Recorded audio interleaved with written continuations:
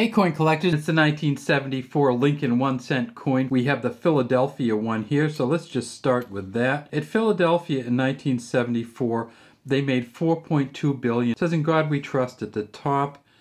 Liberty behind Lincoln 1974 here. We see that this is just an okay version of the coin. It's hard to get one that looks really, really nice. These weigh 3.11 grams. They're a 95% copper, 5% zinc or tin mix. Says United States of America at the top, e pluribus unum here, one cent here. They found three so far that were mint state 68s, and those go for about $6,500. So if you can get a good version of a 74 penny, there's lots of money in it.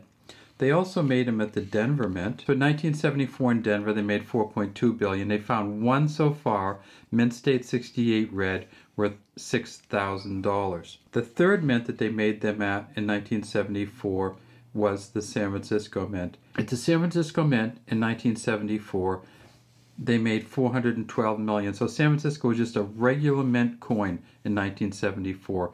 They found one so far that's a mint state 67 plus red and that goes for about $550. They did make proof coins, and they made them at the Philadelphia Mint, and they're very hard to find in good condition. 2.6 million proof coins were made in 1974. They found two Philadelphia proof coins so far at a proof 70 deep cameo, and those two proof coins are worth $10,000 each. They did make 40 aluminum coins in 1974 to see if aluminum would work.